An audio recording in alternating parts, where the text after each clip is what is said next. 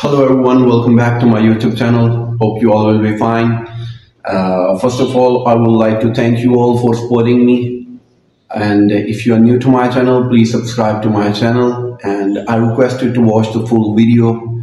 It's me, Zan, the financial analyst, and I will tell you about what's happening in the Iraq and uh, when actually the revaluation is happening and all the news is related to Iraqi dinar revaluation.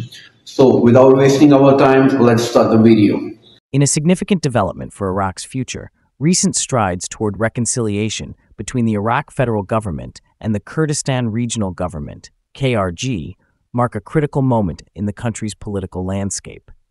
For many years, disputes over governance, revenue sharing, and territorial control have created a divide between Baghdad and Erbil, leading to instability that hampered Iraq's growth and development.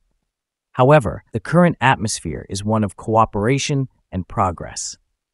A delegation of the highest ranking officials from Iraq, including members of the Ministerial Council of Economics, the Ministry of Planning, Trade, Interior, and the Central Bank of Iraq, recently traveled to the Kurdistan region.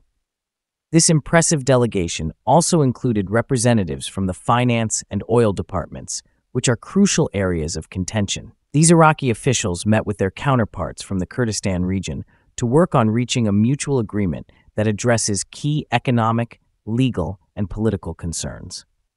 This visit underscores the seriousness and commitment on both sides to resolve long standing issues, not just superficially, but in a way that builds a sustainable partnership moving forward.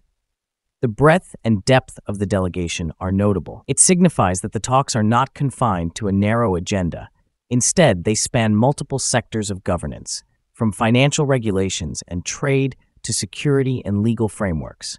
Involving key ministers and department heads in these discussions demonstrates the leadership's recognition of the complexities at hand.